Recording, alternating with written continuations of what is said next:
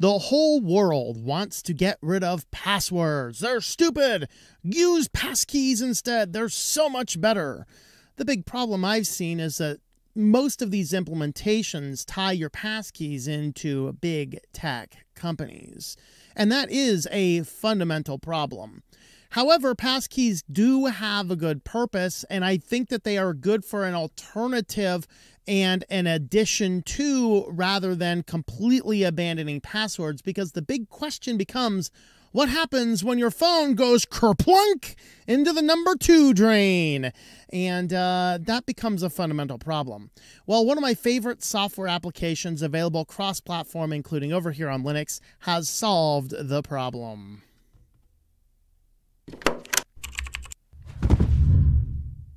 Welcome back to Switched to Linux. Thanks for checking out this video. So today we are going to talk about KeePass XC, my favorite password manager, implementing passkeys inside of their system. So now, if you have a big tech company going, utilize passkeys, we now have a very good option.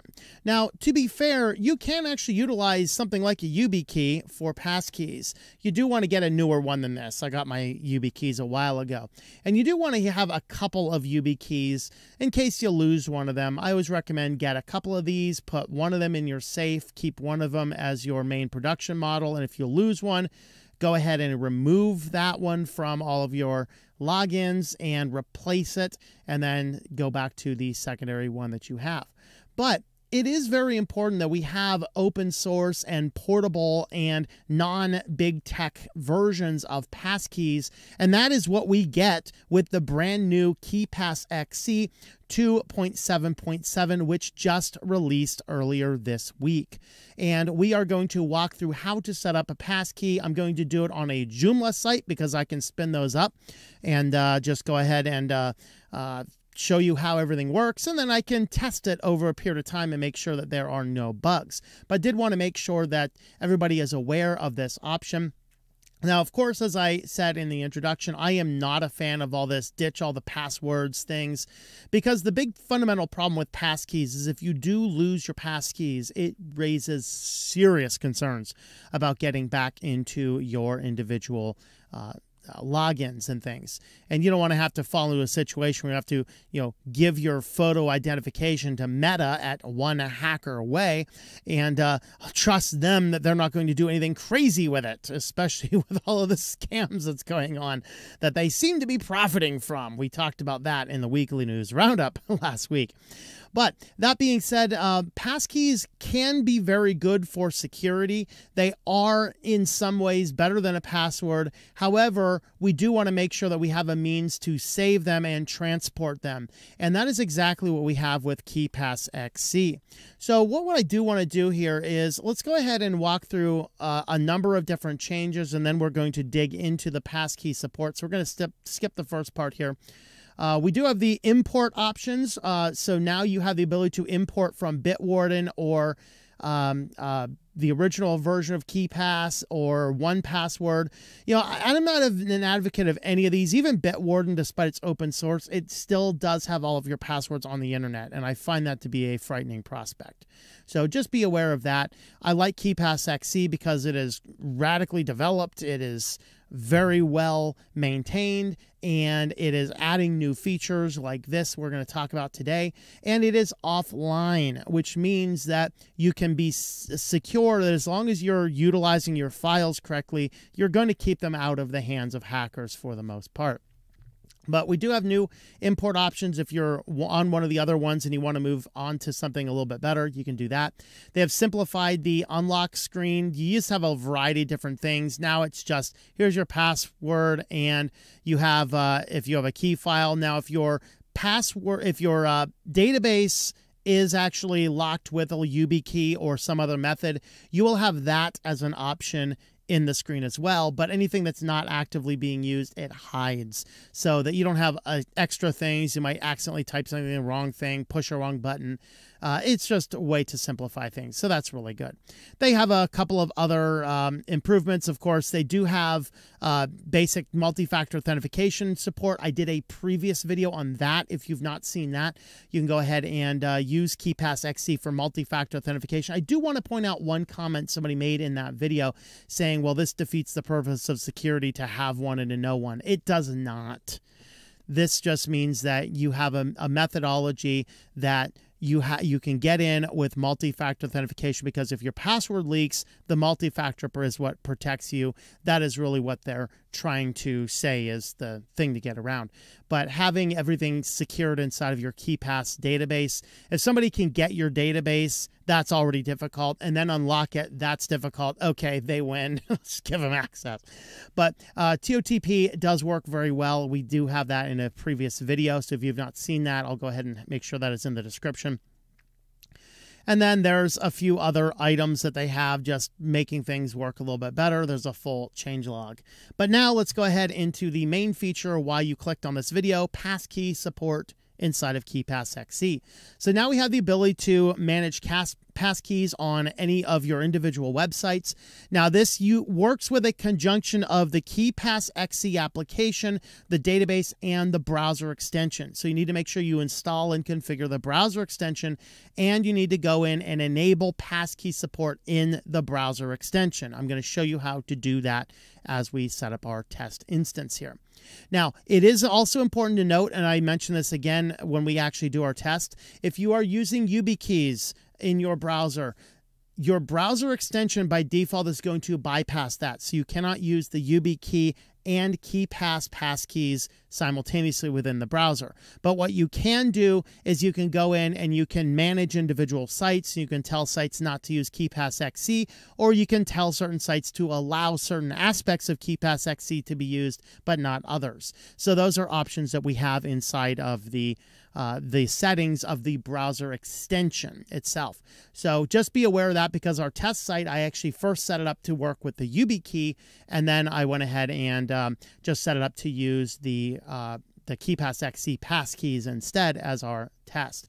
So that is as simple as it is. And from here, we're going to jump on over to a Linux Mint machine where we are using the uh, brand new version of KeePass XC over on a uh, Joomla site to show you how this is going to work. And in theory, it's going to work on any methodology that requires any form of passkey. Utilizing the browser extension is going to trigger to show that yes, I can use passkeys with this, and we're going to show you how easy it is. So we're over here on Linux Mint, and this is not the latest version. This was my test build that I have not upgraded to the latest version.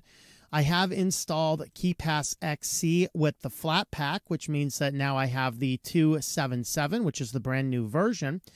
And I have a test site, and we're going to show you how the passkeys work in a test Joomla site that I have here. Now, I have this set up with my uh, YubiKey, but I also have the site set up with the uh, with a password. And the thing is, is when you're using the KeePass XC browser extension, it is going to disable the ability to use the YubiKeys in the browser because it goes to the browser extension. Now, there is actually a spot in there where you can tell it to ignore certain sites. So if you head down here to your Manage Extension, hit your hamburger menu here, and under your preferences, you can come in here and you can enter a site. So let's suppose that we do not want to use a given site. Let's just say, for the sake of argument, Google. Let's go ahead and add Google to this, and then we can enable all features. We can new modified credentials. We can auto submit, or we can disable all features. So if you want to continue using a YubiKey on a site like Google, go ahead and do that. And this is going to bypass the uh, the system here. So I'm just going to go ahead and ignore that for now. Now, once you get in here and install your extension, you do have to enable passkeys. This is disabled by default. You have to manually come in here, turn this on, and then once your database is connected into your uh, your KeePass XC and your database is uh, is unlocked, now we can go ahead and head on over to our site and get logged in. Now I do have this set up for a YubiKey, but since we have the uh, KeePass up here, the YubiKey will not allow us to work. So if I try and log in here, it says, oh, no, no logins found because there's no web authentication. If I were to disable the site and hit web authentication, I could just tap my YubiKey and log in. We'll just go ahead and log in with the password for now. Now what we're going to do to add a passkey, and this is going to apply whatever site needs to use a passkey, just follow their procedures for creating a passkey. In Joomla, you can come down here, type this in. You can see my YubiKey is here. Now I can add multiple ways, so I can have the browser extension working anytime I'm using KeePass, or if I'm not, I can just go ahead and use my YubiKey and still log in without a password. Of course, I can actually use all of these methods for a multi-factor authentication as well. I'm not worried about that right this second. For the purpose of this, I want to show you the new passkey feature.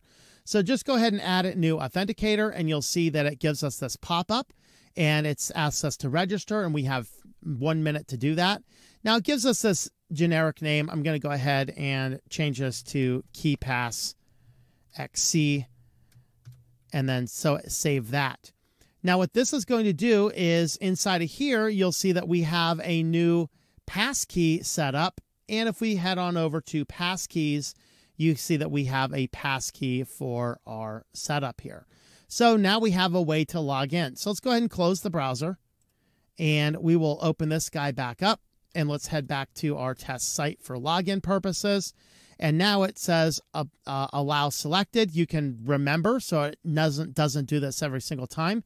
Hit allow selected, log in, web authentication, and authenticate, and this is going to let you on in. And so now you can go back under your users and you can see that we have our web authentication is now working, and that is as simple as it is. Now, this is really great, as I said earlier in the introduction, because now we have a way to portably share, save, backup, and cross deploy passkeys without relying on big tech. So this is an absolutely amazing feature and close this out. And it is going to create some extra entries in here. No big deal. Of course, this is all saved within my database. So all I have to do now is take the same database, deploy it on another machine, install the uh, the browser, and now I have passkeys enabled on different sites. So that is how easy it is to work with.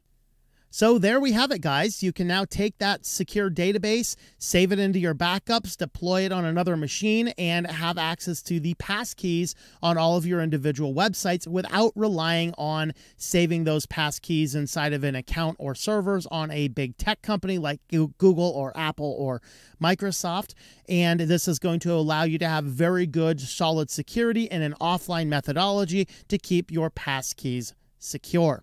So with that, guys, thanks for watching. And if you've not already subscribed to the channel, please go ahead and double check that you are subscribed and leave us a like and a comment down below. With that, thank you for watching and hope that you enjoy switching to Linux.